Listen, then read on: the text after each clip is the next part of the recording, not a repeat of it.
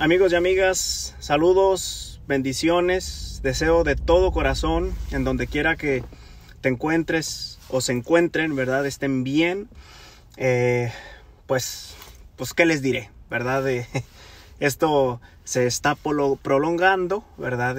a nosotros nos dio la noticia la escuela de nuestros hijos, ¿verdad? Que esto va a alargarse eh, casi a finales del mes de abril, ¿verdad? Entonces, este, wow, estamos sorprendidos al igual que ustedes, ¿verdad? Por todo esto.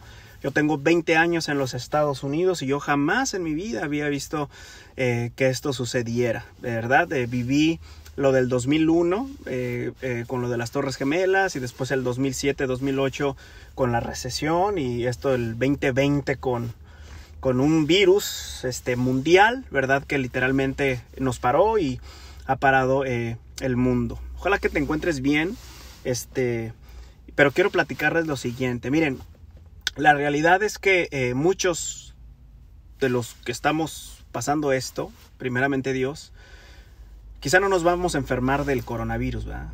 Pero sí ya estamos siendo afectados por, por la cuestión eh, financiera, ¿verdad? Ya yo voy para, este va a ser mi tercer fin de semana que estoy parado. Eh, a mí me cancelaron mis bodas, mis quinceañeras o me las pospusieron para meses futuros, ¿verdad? Los eventos que teníamos eh, como el charro y la mairita, ya ven que damos así platiquillas, ¿verdad? En diferentes lugares, eh, también nos los cancelaron por completo. Y este, yo quería platicarles lo siguiente que me acaba de suceder. Compartan para que otras personas puedan ver esto. Hace un mes Mayrita estaba en el dentista y frente al dentista vi un dealer, ¿verdad? Con camionetas preciosas, ¿verdad? Así es que dije, voy a meterme ahí, voy a sacar un mensaje positivo. Me metí a este dealer, ¿verdad? Y ese video que les estoy platicando, lo acabo de postear, está allá abajo, ¿verdad? Este... Y detrás de mí había una camioneta muy chula, nueva, de 60 mil, 70 mil dólares. Y, y les dije así a ustedes, dejen de poner su dinero en aquellas cosas que bajan eh, de valor, ¿verdad? De ahorren, eh, compren una casita, inviertan en algo, ¿verdad? Sean, eh, sean sabios cómo manejan su dinero. Y parece, queridos, como que les menté la madre a muchos de ustedes, ¿verdad? Parece como que dije algo malo, muchos comentarios negativos, ¿y a ti qué te importa? Muchos me, me, me dijeron cosas feas, no me bajaron de pen, ¿verdad? Pero hubo un cuate que me dijo, ¿y a ti qué te importa, pinche charrito? ¿verdad? Mira, me acabo de comprar esta camioneta y me puso la foto en los comentarios. Y si tengo para pagarla, ¿verdad? Este, ¿a ti qué? Bueno, dije yo, está bueno. Recibí un email hace unos días y el encabezado decía, perdóname, charrito. ¿Saben quién me estaba pidiendo perdón? ¿Saben quién es? Este amigo, el que literalmente me rayó y me maltrató y me dijo, Charrito, el día que tú hiciste ese video yo había comprado esa camioneta y mira, un mes después se vino esto, ¿verdad? El coronavirus. Este, ahí, frente a mi Porsche, tengo una camioneta de 65 mil dólares y no tengo trabajo. Era cocinero, ¿verdad? O trabaja de cocinero. Me platicaba el muchacho de una cadena de restaurantes populares y él era como que el jefecillo pero pues, pues los restaurantes literalmente este, se acabaron, ¿verdad? Bueno, no se acabaron, ¿verdad? Pero están ahorita, ahorita parados. Y me dijo Charrito, perdóname.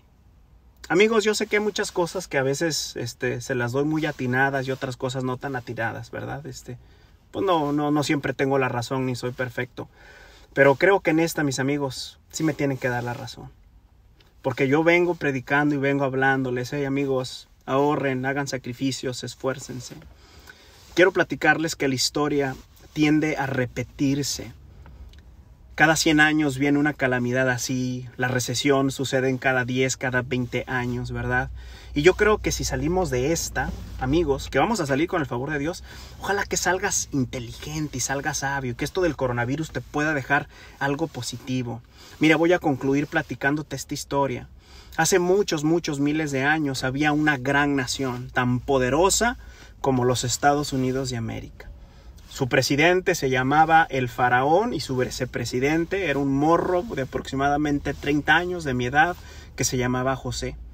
Y Faraón tuvo un sueño, ¿verdad? Donde había siete vacas gordas y después siete vacas flacas que vinieron y se tragaron a las gordas y aquel desesperado le preguntó a su vicepresidente, este muchacho de 30 años llamado José, mira, ¿qué está sucediendo? Mira, soñé esto.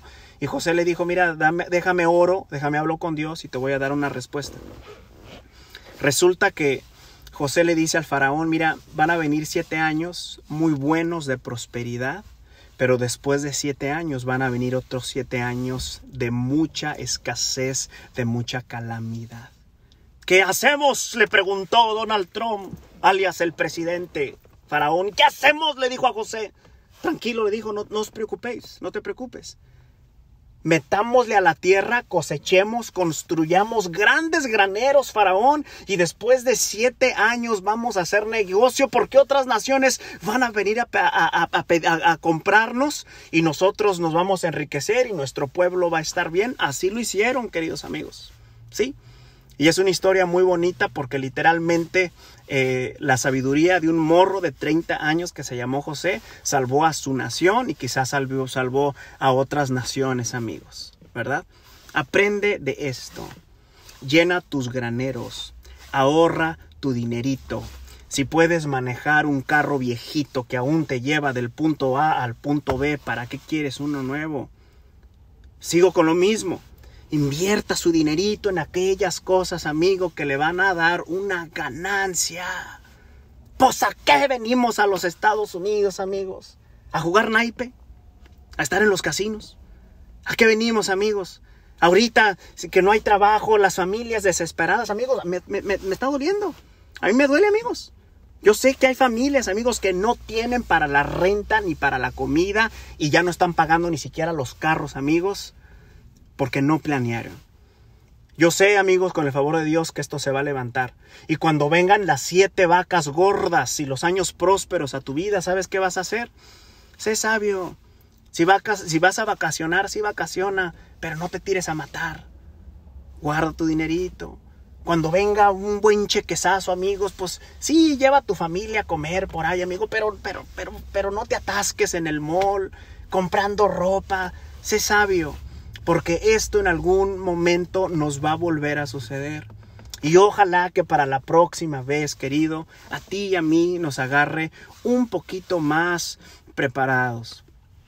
Alguien me dijo, Eric, este, te ves tranquilo, te ves, te ves sereno. Y les dije, sí, pues porque confío en Dios, ¿verdad? Estamos completamente confiados en el Señor, pero también tenemos unos centavos guardados. Tres semanas, amigos, este próximo fin sin trabajar. Y bendito Dios que, tenemos unos ahorritos. Bendito Dios que escuché el consejo de un hombre mayor que yo que me dijo, mira Eric, porque estamos levantando nuestra casa, ¿verdad? Y me dijo, Eric, mira, este, para de construir y mejor eh, haz tus taxis para ver si vas a tenerle que pagar al gobierno, ¿verdad? Al IRS o los impuestos, pues. Y así lo hice, amigo, y pum, se vino esto. Qué bueno que paré, amigos, la construcción, porque tengo una reservita, tengo un dinerito ahorrado Aprendamos de esto, mis amigos. Quizá no todo lo que digo, no todo lo que les explico les convenga, ¿verdad? O les guste, pero yo creo que este consejo sí está muy sabio, amigos.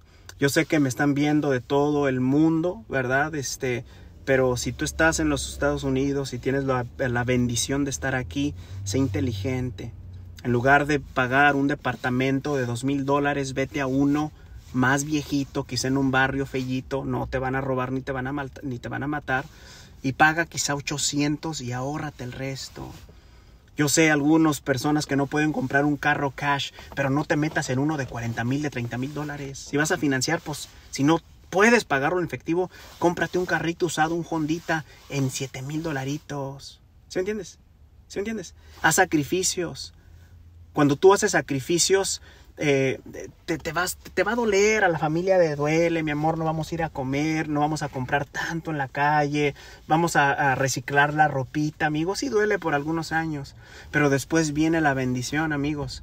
Como dijo Dave Ramsey, ¿verdad? Eh, en English, he said, live like no other, something like that, ¿verdad? So later you can live like no one, like no other, something like that, amigos. I don't speak English very good, very well lo que quiere decir en translation, ¿verdad? es que hoy batállale, hoy batállale, este, hoy sacrifícate, vive como pocos se atreven a vivir, ¿verdad? Porque el día de mañana vas a vivir como pocos pueden vivir. Mayra y este servidor, amigos, no somos ricos. Mucha gente piensa que somos ricos y que las redes sociales. No, amigos, no. Esto, esto de las redes sociales nos acaba de pasar hace dos años, que ustedes nos conocen, que nos hicimos virales. La realidad es que los años anteriores, amigos, hemos ganado, este, pues, como la raza, ¿verdad? Pero hemos sido sabios, amigos. He tenido una mujer que se ha fajado conmigo y que me ha apoyado, que nos hemos unido como matrimonio para planear, para ver el futuro, para ver más allá. Deje de compartir con sus familiares que compran cada cuatro o cinco años carros nuevos y andan comprando plasmas nuevas y todos los chiquillos tienen tabletas y, tienen Netflix, tienen Primetime y tienen Disney Channel y que juela, ¿verdad? Deje de competir con ellos, amigos, y corran su propia carrera con tu familia, con tu esposa. Y el día de mañana van a tener resultados diferentes. ¿Vamos a salir de esto? Yes, yo creo que sí. Yo creo que Dios nos va a sacar victoriosos, no pierdan la fe, todo va a estar bien. Si tú hoy estás batallando con tus finanzas, ¿verdad? Ojalá que este consejo lo guardes para siempre en tu corazón, ¿sí? Y que del coronavirus tú el día de mañana puedas decir, oh Señor, ¿verdad? De algo malo salió algo bueno porque ya pagué mi casita o ya compré mi casita, ¿verdad? Amigos, estoy adentro de una camioneta Tundra con 267 mil millas, ¿verdad? Miren, la voy a encender. Ahí está, ¿ven? Tranquilita, 242 mil tiene mi, Tundra. Tengo 11 años este, con ella y pagadita, ¿verdad? ¿Para qué? ¿Para qué me endeudaba, amigos? Ahora con esto del coronavirus. Dios los bendiga, amigos. Dios los guarde. Los quiero mucho, amigos, y perdónenme si a veces les digo cosas tontas o lo que sea, amigos. Nunca es mi intención ofender a nadie. Este, solamente, solamente me gustaría pues seguirles ayudando. Bye, amigos. Chile ganas. Listen to me.